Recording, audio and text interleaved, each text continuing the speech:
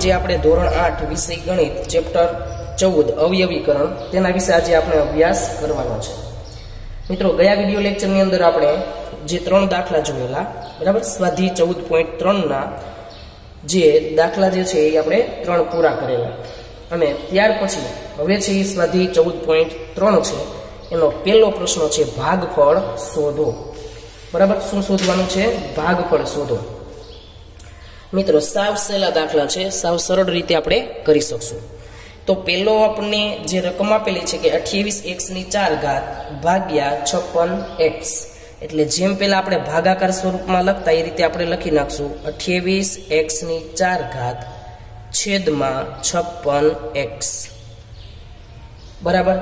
હવે પેલા અઠ્યાવીસના આપણે અવયવ પાડીએ. તો આ રીતે પડે, અઠ્યાવીસના અવયવ પાડીએ તો બે બે, ચાર બરાબર?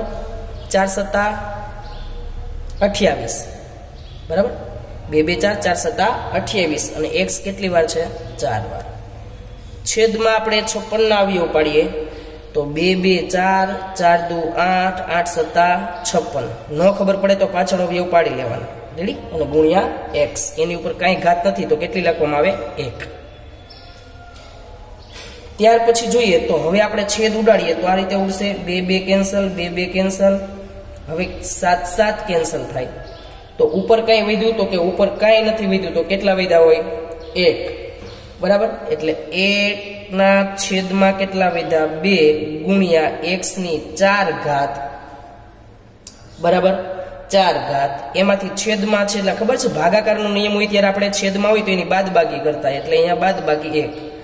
એટલે જવાબ બરાબર એકના છેદમાં બે ગુણ્યા એક્સની ચારમાંથી એક જઈ તો કેટલી ઘાત આવે? ત્રણ. બરાબર?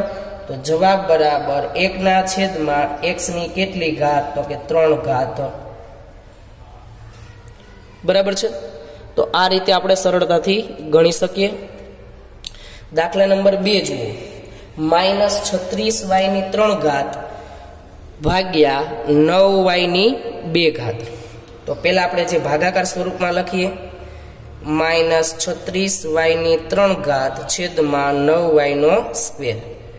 પહેલાં તો છત્રીસના આપણે અવયવ પાડીએ. બરાબર છે?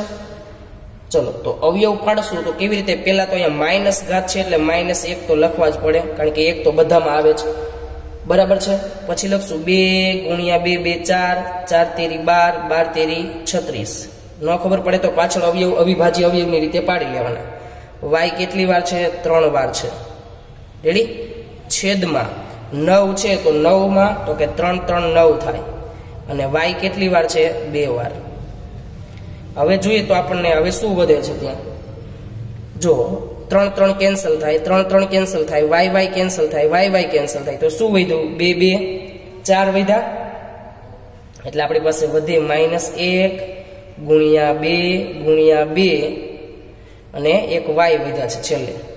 અને છેદમાં કઈ વધ્યું છે તો કે છેદમાં કાંઈ નથી વધ્યું, એટલે એક. તો જવાબ શું આવે? બે બે, ચાર. ચાર વાય. પણ કેવા ચાર વાય? તો કે માઇનસ ચાર વાય. રેડી ચાલો, ત્યાર પછી એના પછીનો દાખલો. છાસઠ પી ક્યુ આરનો સ્ક્વેર. તો આપણે અહીં લખશું. છાસઠ પી ક્યુનો સ્ક્વેર અને આરનો ઘન. છેદમાં કેટલા? તો કે અગિયાર ક્યુ આરનો સ્ક્વેર. રેડી? બરાબરની નીચે બરાબર. હવે છેદ ઉડાડીએ તો કે બે તેરી છ, બરાબર? અને છ ગુણ્યા અગિયાર એટલે અગિયાર છ છાસઠ. પી ગુણ્યા ક્યુ ગુણ્યા ક્યુ ગુણ્યા આર ગુણ્યા આર ગુણ્યા આર છેદમાં કેટલા વધશે તો કે અગિયાર છે એટલે અગિયાર એકા તો અગિયાર જ થાય. ગુણ્યા ક્યુ ગુણ્યા આર ગુણ્યા આર હવે જુઓ તો આમાંથી શું કેન્સલ થાય છે? તો કે અગિયાર અગિયાર ઉડે છે. પી પી તો સોરી પી નહીં ઉડે. બરાબર? પી આપેલા જ નથી. ક્યુ ક્યુ ઉડશે. ક્યુ ક્યુ અને એક આર ઉડશે.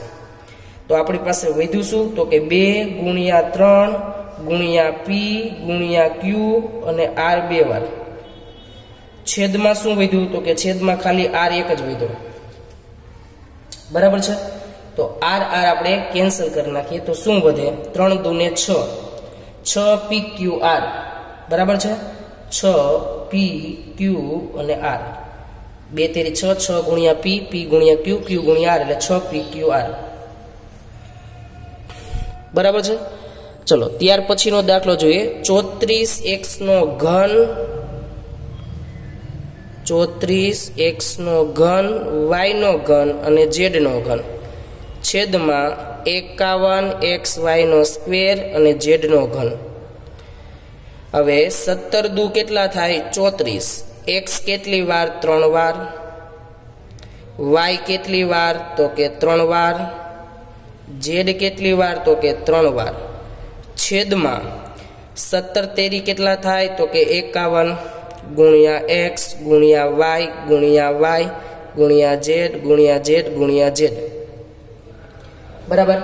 તો જુઓ તો હવે આમાંથી કેન્સલ શું થાય? તો કે સત્તર સત્તર કેન્સલ થાય. પછી એક્સ એક્સ કેન્સલ થાય.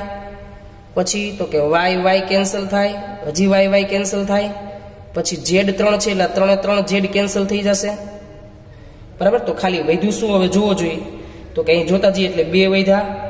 પછી બે એક્સ વધ્યા. અને એક વાય વધ્યો છે. છેદમાં શું વધ્યું છે? તો કે છેદમાં ત્રણ વધ્યા છે. બીજું કાંઈ વધ્યું નથી.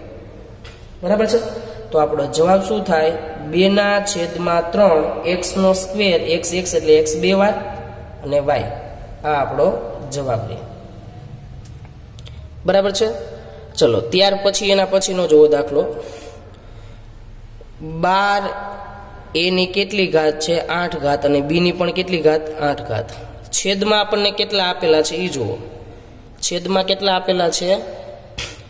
તો કે છેદમાં માઇનસ છ ની કેટલી ઘાત છે? તો કે માઇનસ સિક્સ એની છ ઘાત અને બીની કેટલી ઘાત? ચાર ઘાત.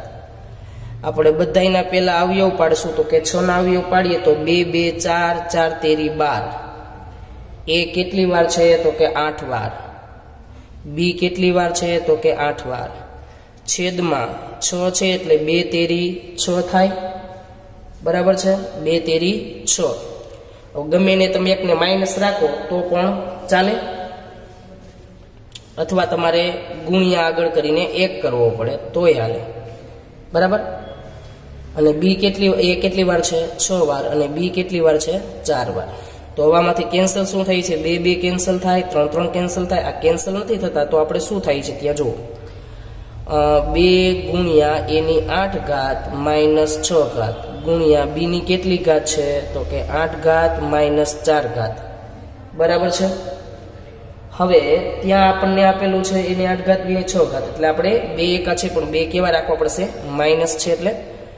બરાબર? તો માઇનસ બે ના માઇનસ બે એની કેટલી ઘાત આવે? બે ઘાત આવે. અને બીની પણ કેટલી આવે તમે? બીની ચાર ઘાત આવે. બરાબર? માઇનસ બે એની બે ઘાત અને બીની પણ ચાર ઘાત. તો આપણે જવાબમાં શું લખી શકીએ? તો કે માઇનસ ટુ ના માઇનસ ટુ એની બે ઘાત અને બીની કેટલી ઘાત? ચાર ઘાત. બરાબર? તો વિદ્યાર્થી મિત્રો, આ રીતે આપણે દાખલા જે છે એ વ્યવસ્થિત રીતે અને આસાનથી સરળતાથી ગણી શકીએ છીએ. નેક્સ્ટ વિડીયોની અંદર આપણે દાખલા નંબર, આગળના જે દાખલા છે, તેની શરૂઆત કરશું. એટલે કે દાખલા નંબર બે છે. બરાબર? તેની શરૂઆત કરશું.